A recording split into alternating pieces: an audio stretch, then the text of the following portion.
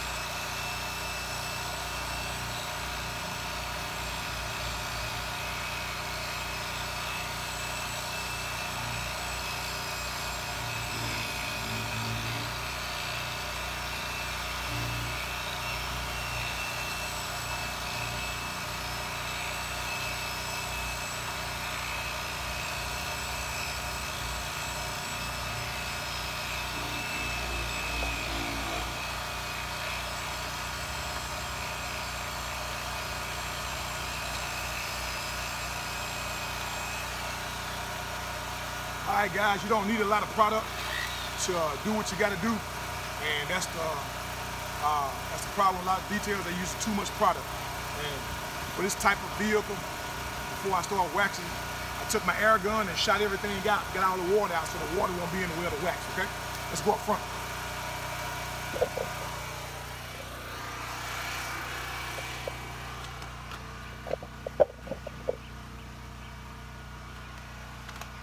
Let you guys up here a little bit. Ah. Sorry I'm not in my cheery mood. Still thinking about my cousin.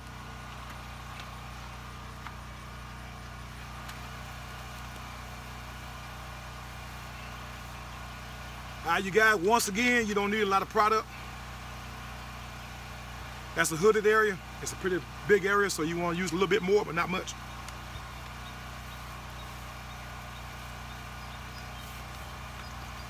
And on your cord, you want to throw this cord over your shoulder to keep it away from the car because the cord will scratch.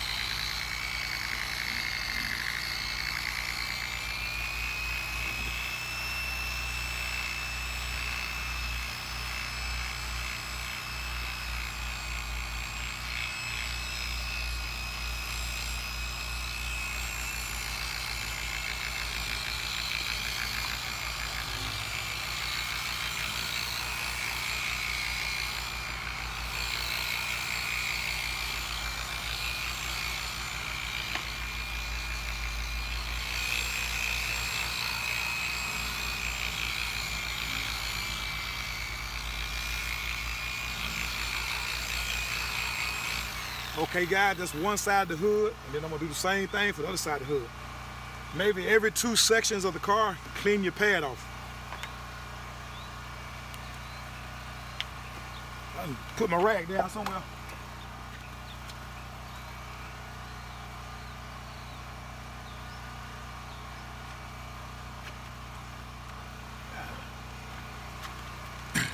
And normally how I clean my Porter-Cable, I just take it, don't mash the rag up against it. Just let the Porter-Cable turn.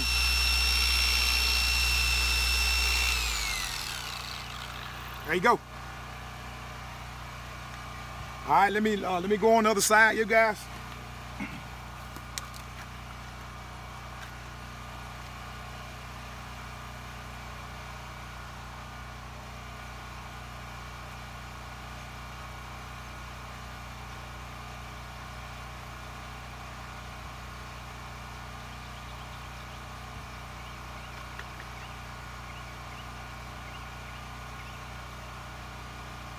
Same amount.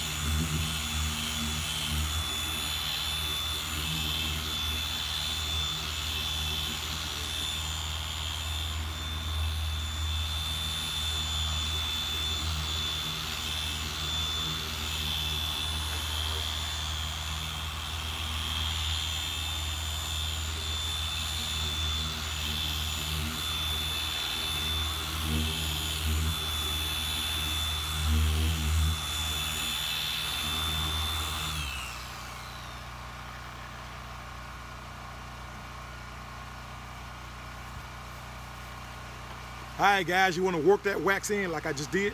Just work it in, and uh, I should have been done with this thing uh, a couple days ago, but it just keeps raining, so I had to come back. And it's gonna rain again this evening, but they're having in the garage. So uh, that's basically how I wax. So let me finish up because I'm not sure about this weather, and then we'll see how it looks when I'm done. Okay, deuces. Guys, I'm done with the Range Rover. That's what it looks like. The good old wax job. I can't bend down. I'm see can I bend down and get me a photo because it ain't. There it is. Uh-oh. Ah. There it is right there, you guys. Wax job. The EQ lotion wax. Beautiful ride there, man. Beautiful ride. Ah. She's all good, man. This weather though, boy. Woo, this weather. It's kind of cloudy now, but you can see the results of it. There it is. Kind of close. She got some bumper scratches, but she got too close to the curve over there. Nothing I can do about that. I'm not going to put any shine on this tires. And the reason why is when she starts to roll and the rain hits it, you know what I mean? So I'm going to leave that tire dry. And then the next time when it's sunny, when I wash it, I won't have to worry about trying to get uh, the grease and stuff off the side of the car. All right. So that's how you roll with that. So as you guys can see, she's spick and span. You know, she's got a couple of my elbow grease spots on it. but that's just how it go. All right, let's go around the back side. there you go. Down to the side. Even on the tail end, you guys. There you go. There we go. Down the sides good to go. All right, guys, next in line, there it is. That's the Ferrari. That's the Ferrari, guys. There you go. Uh, a lot of people ask me, say, man, you act like we ain't be excited to be doing expensive cars. I said, man, I've been doing cars for long. It just, you know, I just talk to them. You know, they're like my children. So I don't get too excited, you know. All I know is what I got to do to them. So she's pretty dirty, as you can see. You guys can see, she just need a little washing the waxing. So that's what we're gonna do. She's a beauty though, black on black, just like that one over there. Black on black. So, all right, let's get started with this bad boy.